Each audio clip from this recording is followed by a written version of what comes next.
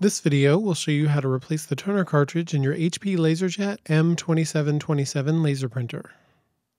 The LaserJet M2727 takes the same fast print speeds and high quality output of other models in its lineup and adds multifunction copying and scanning features as well.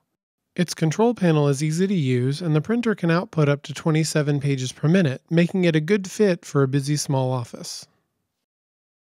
Although the model shown differs in appearance, the process is the same. Find the toner button at the top of the access panel and press down as you rotate and lower the panel toward you. You will see the handle on the empty HP M2727 toner cartridge. Grab the handle and pull the cartridge toward you to remove it from the printer. Get the new M2727 cartridge ready by opening the box and removing any packing materials. Carefully open and remove the bag, then shake the cartridge from front to back several times to loosen up the toner inside. Before installation, pull the loose end of the packing tape away from the cartridge until it is completely removed as well. Align the new HP M2727 toner cartridge with the guides on both sides of the opening, then slide it into place. Press firmly on the cartridge to make sure it is inserted all the way, then close the access panel.